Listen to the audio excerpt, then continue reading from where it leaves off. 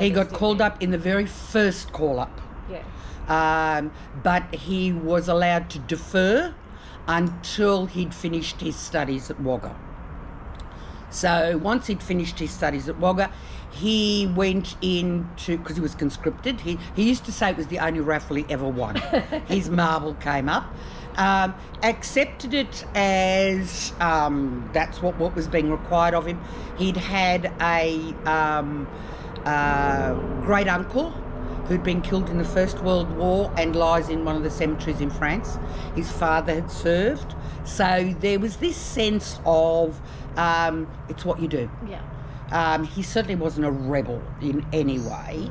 Um, accepted that he was not convinced about the politics of the situation, but in this case, it was required of him to do this. Yeah. So he accepted his conscription uh, and in 69 went in and did his basic training, Puckapunyal. Um, there, there's also, and Doug was adamant about this, that actually going to Vietnam as a conscript was your decision.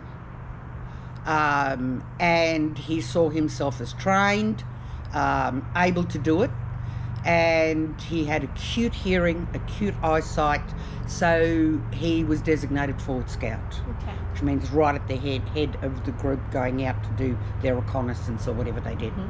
So yeah, so landed in Vietnam. Tell me about how he was injured.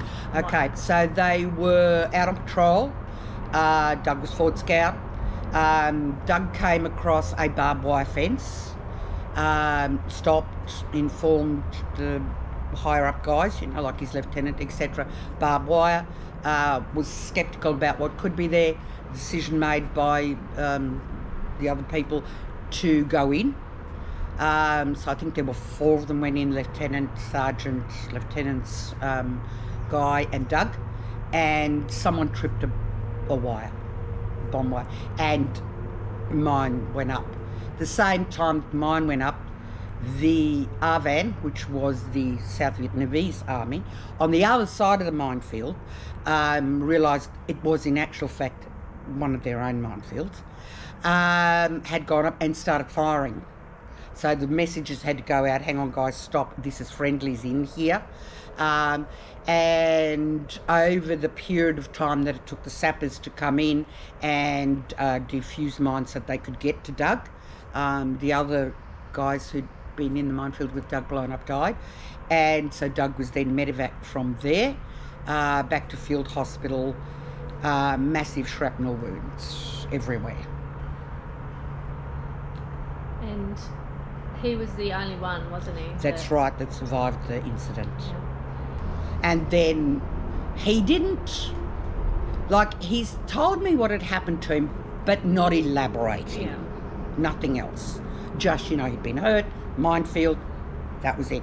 It took some time as the relationship developed for him to try, start telling me more and more. Yeah.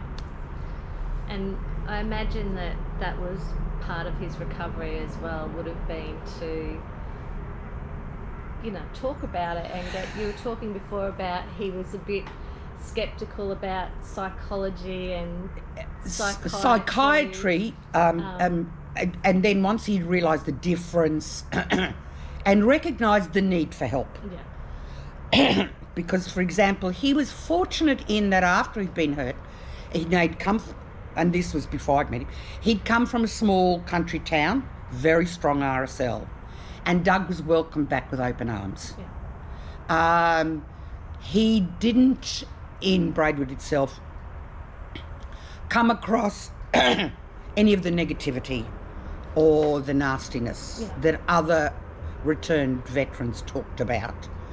He certainly did later on, um, but not initially. Yeah.